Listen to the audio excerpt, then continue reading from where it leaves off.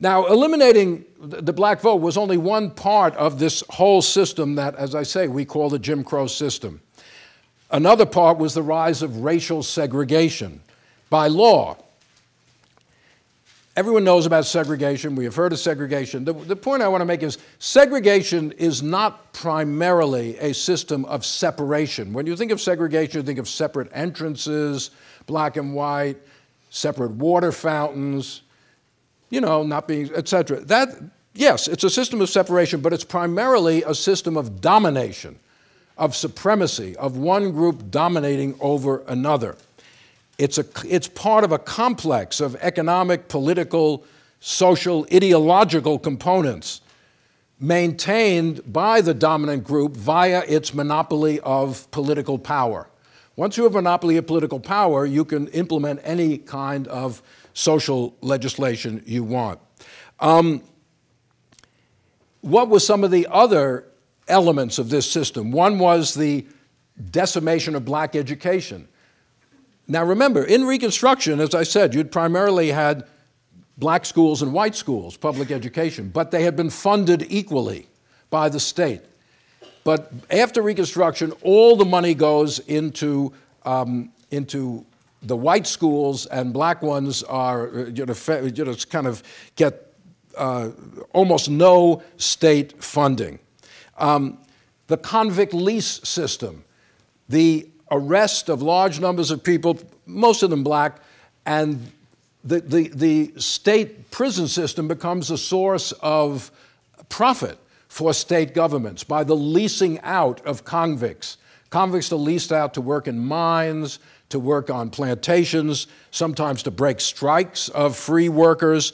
Um, and since very few whites were put in jail uh, for any lengthy period of time, most convicts, are, most uh, the convict leases people who's in there for a lengthy period of time, it was it became a form of involuntary labor, increasingly for black um, black people.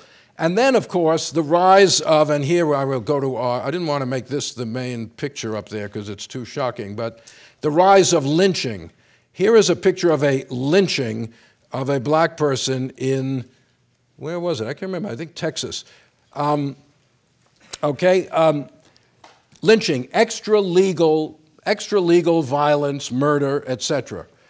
Um, between 1890 and 1940, that is 50 years, there were an estimated 4,000 lynchings in the United States. Almost all of them in the South. There were a few elsewhere, and almost all of them black. Oddly, the largest, the largest group lynching in this period was 11 Italian immigrants lynched in New Orleans in 1891, accused of something, I don't remember what they were accused of.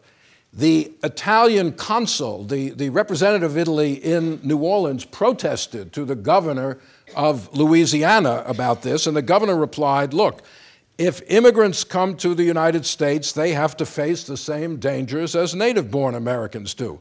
If you're in the United States, you may get lynched. That's just part of what the, the American way. But the vast majority were African Americans of all kinds. Uh, they were, of course, they would all be accused of crimes, often rape, which usually were not real, uh, were not legitimate charges. People who just stepped out of line in one way or another. People who challenged the white supremacy system. People who uh, try to organize politically. People who uh, contested uh, contract uh, arrangements at the end of the year.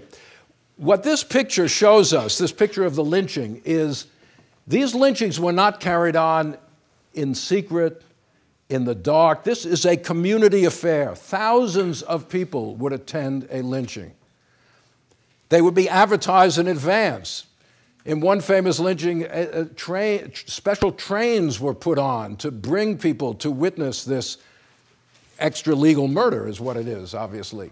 Uh, this, if you look on the top, you see a black man about to be hanged in front of a giant mob. This is not public, this is not the state executing someone after they've been convicted of a crime. This is a extra legal murder. People would bring children to see this.